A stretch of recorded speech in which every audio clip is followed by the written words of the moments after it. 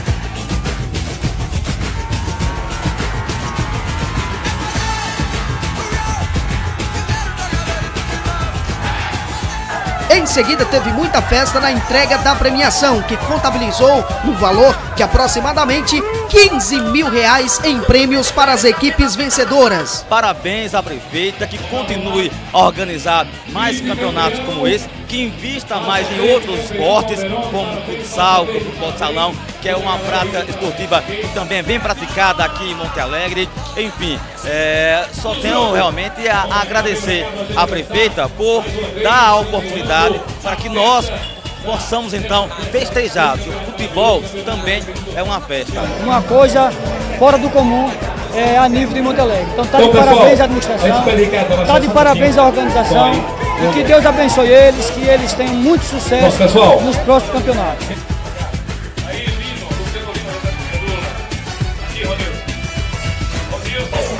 Monte Alegre está de parabéns, porque nós temos uma prefeita que gosta de respeitar o povo e considerar. Para mim, uma das maiores festas do mundo é o esporte, tanto o esporte como o esporte do boi mato também. Aí, por tudo como a prefeita tem contribuído com todos esses esportes, é, vocês estão de parabéns, tanto o prefeita